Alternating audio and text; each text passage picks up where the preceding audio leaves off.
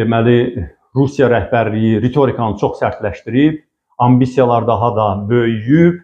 Sizin dediyiniz kimi iki yeni ordunun yaranmağından söhbət gedir. Ordu birləşmə mənasında, yəni biz indi bütün ümumilikdə silahlı qüvvələri ordu adlandırırıq. Amma Rusiyada bu belə deyək ki, diviziyanın, korpusun üstündə olan böyük hərbi birlikdir. Demək bir neçə ordudan ibarətdir Rusiyanın silahlı qüvvələri, iki ordu birləşməsi, konkret olaraq 14 yeni diviziya və 16 yeni briqada yaratmağı nəzərdə tuturlar.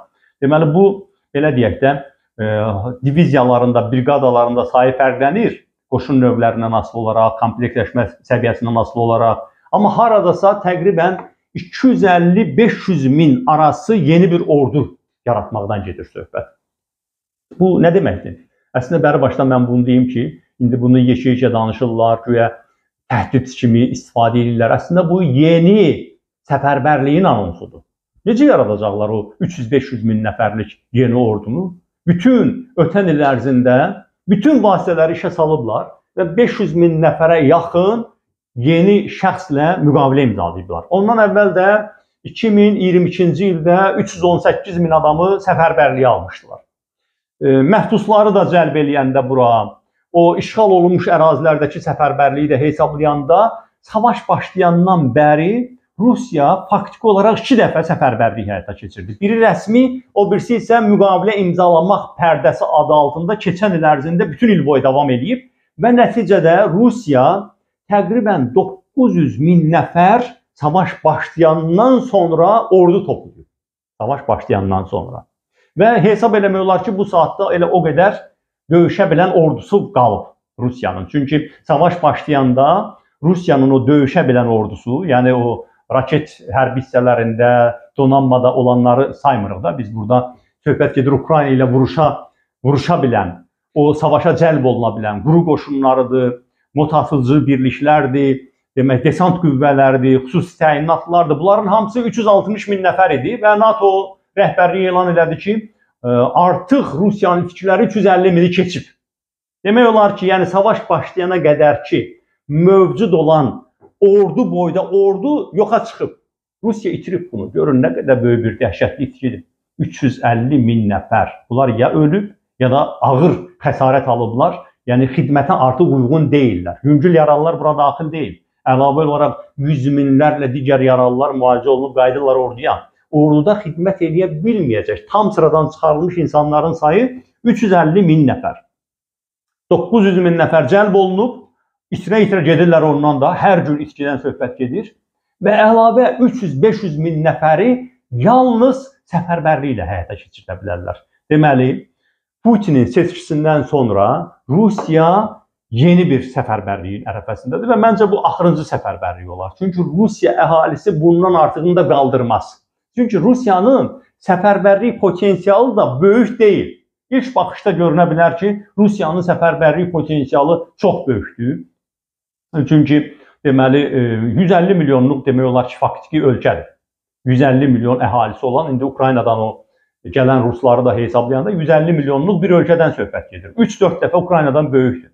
Amma Rusiyanın başqa hərbi hissələrə də böyük ehtiyacı var. Rusiyanın ən böyük dünyada sərhəddə olan bir ölkədir. Məsələn, sərhəd qoşunları neçə yüz min nəfərlərlə hesablanır. Rusiyanın təkcə Roskvardiyası bizim daxili qoşunların analoqu belə deyək də, Rusiya qvardiyası 342 min nəfərdir, elə bir ordudur. Putin onu heç kimə verməz. Çünki bu e, demək e, Prigojin qiyamından sonra da başa düşdü ki və sonuncu keçirilən etiraz aksiyalarında göstərdi ki, Rusiyada hər zaman problem çıxa bilər daxildə. Ona görə də baxın 342 minlik elə ordunu daxildə saxlayırlar. O daxili qoşun statusundadır. Onu da vermirlər orduya. Bunun hamısı insan daxil. Üstəgəl ordunun özündə dediyim kimi məsələn e, uzaq şərq donanmasında, strateji hücum silahlarında, aviasiyada olan birbaşa müharibəyə cəlb olunmayan o mühəndis texnik hissələrdə, ali məktəblərdə və müxtəlif bazalarda olan 700 min nəfərə qədər də orada insan məşğuldur. Yəni onlar da savaşa cəlb oluna bilmirlər. Bunları hesablayın. Deməli, görün, onda üstünə gəlin 1 milyona qədər çağırışçı ki, ölkədən qaçıb gedib, onu da hesablayın. 350 min nəfər artıq sıradan çıxanı da hesablayın. Rusiyanın özünün böyük bir səfərbərlik potensialı qalmayıb. Və əgər növbəti 300-500 min nəfərlik o anons edilən yeni 14 diviziya, 16 briqadanın yaranmasından söhbət getsə, Rusiyada çox dərin, köklü səfərbərlik getməlidir. Bu da Rusiyada böyük bir sosial narazılıq yaradacaq. Amma hələlik buna arxalanıb uca səslə danışırlar. Hətta Dumanın vitse-spikeri Fransanı hədələyirdi ki, deməli qoy gəlsinlər fransız ordusu yerləşsin demək Ukraynada və biz onları Parisə qədər qovarıq. Təzədən başlayıblar Paris-Berlin söhbətləri eləməyə. Yer gəlmişkən bu əslində qərb siyasətçilərinin işini asanlaşdırır. Onlar uzun müddət xalqın belə deyək etirazı ilə qarşılaşırdılar ki, bu iqtisadiyyatı müharibə reysinə keçirmək lazım deyil, Ukraynaya yardım eləmək lazım deyil. İndiki Rusiya siyasətçiləri ə, səhv olaraq bir gün deməli ə, Avropanı nüvə silahı ilə təhdid edirlər. Bir gün yenidən Parisdə addımlayacaqlarından danışırlar. Bir gün Berlini yenidən fəth eləyəcəklərindən danışırlar və bu Avropanı ayıldır. Amma nəyi vurğulamaq istəyirəm? Həqiqətən də siz haqlısınız ki, ritorika çox sərtləşib.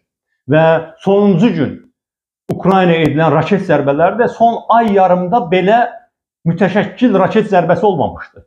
İndi o şahidləri qoyuram burağa 60-a qədər İran ə, şahidlərindən istifadə eləmişdilər, amma demək 88 88 raket atıblar bir gecənin içində Ukraynaya. Və sizin də dediyiniz kimi bu dəfə az bir hissəsini Ukraynanın hava hücumundan müdafiə sistemi onu sıradan çıxarda bilib. Cəmi 37-si, hardasa 50-yə qədəri demək olar ki, maneəsiz gedib çıxıb. Nə ilə bağlıdır bu? Ondan bir gün qabaq Kiyevə 31 raket atılmışdı. 31-i də vurulmuşdu. Deməli Rusiya başa düşdü ki, Ukrayna da böyük dövlətdir axı. Rusiya kimi olmasa da, amma Ukrayna da böyük dövlətdir. Avropanın ən böyük dövlətidir. Kiyev yaxşı müdafiə olunur.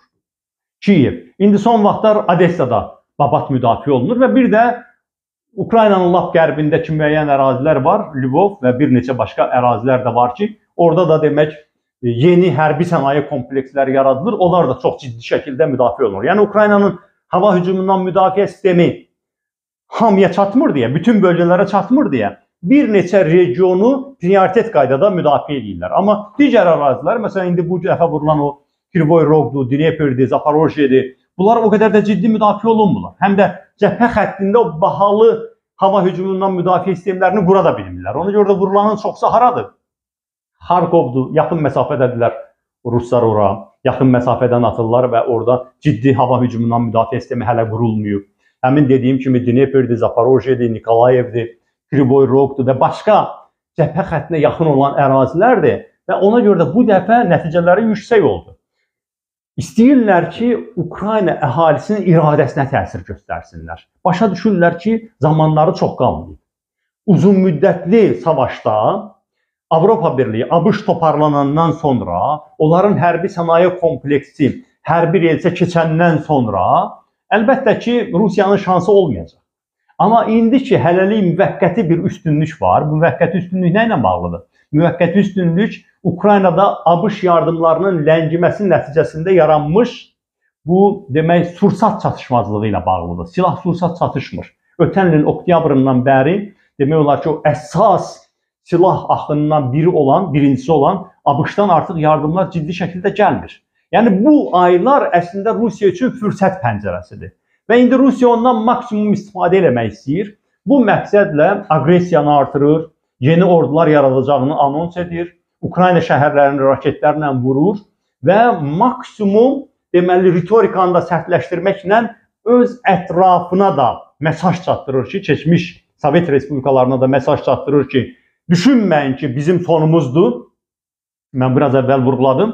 Bütün MDB ölkələrini hədələdilər bu günlərdə ki, kim özünü Rusiya münasibətdə səhv aparsa, onun üçün faciəli nəticələr ola bilər. Bu əslində zəifliyin etirafıdır. Amma Rusiya tərəfindən belə bir hərbə zorba gəlmək siyasəti aparılır. Bunun ciddi nəticələr verəcəyini mən düşünmürəm. Çünki deməli, ötən ilin oktyabrından Rusiyanın özünün əks hücumu başlayıb. Bilirsiniz, bütün yay ərzində ötən il Ukraynanın əks hücumu olub. O gözlənilən, arzulanan nəticəni vermədi. Oktyabr ayından da Rusiya öz hücumuna başlayıb. Oktyabr ayından sonra görün neçə ay keçib.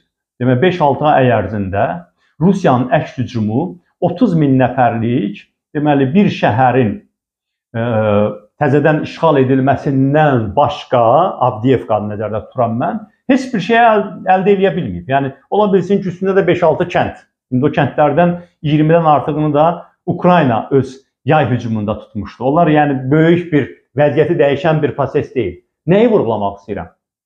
Əgər Rusiya indi ən onun üçün əlverişli olan vaxtda, o vaxtda ki, ABŞ yardımları, düz elə bunlar hücuma başlayandan təsadüfə baxın ha, Rusiyanın xeyrinə olan təsadüfdür bu. Rusiya hücuma başlayandan ABŞ yardımları da kəsib. Bütün bu 5-6 ayın ərzində ABŞ-dan ciddi dəstək almayan, Ukraynaya ciddi bir məğlubiyyət yaşada bilməyibsə Rusiya, bundan sonra bunu eləmək ümumiyyətlə mümkün olmayacaq. Ona görə də hesab edirəm ki, Rusiyanın indi bu elədikləri əlbəttə ki, daha çox diqqəti özündən yayındırmaq zəif görünməməkdən ötürüdür. Çünki biz bu barədə danışmışıq, yenə danışacağıq. Əslində Ukrayna özü də çox ciddi zərbələr vurur Rusiyaya, yeni bir cəbhə açıb, Rusiyanın içində böyük əməliyyatlar aparır. Ona görə də biz Rusiyanın bu sərtləşən ritorikasını həm də psixoloji cəhətdən öz əhalisini ümidsizliyə qapınmaqdan sığortalamaq üçün başa düşməliyik. Yəni Rusiyanın daxilində bir ruh düşkünlüyü yaranmasın, depressiya yaranmasın. Düşünməsinlər ki, artıq biz heç Moskvada da dinc otura bilmirik. Sankt-Peterburqda da dinc otura bilmirik. Saratovda da dinc otura bilmirik. Artıq Rusiyanın hər yerində bizi vururlar. Belə getsə Birləşmiş Qərb Rusiyanı məğlub eləyəcək. Bu fikir yaranmasın deyə ritorikanı sərtləşdiriblər. Amma bu ritorikanın arxasında real olaraq vəziyyəti dəyişəcək bir güc yoxdur.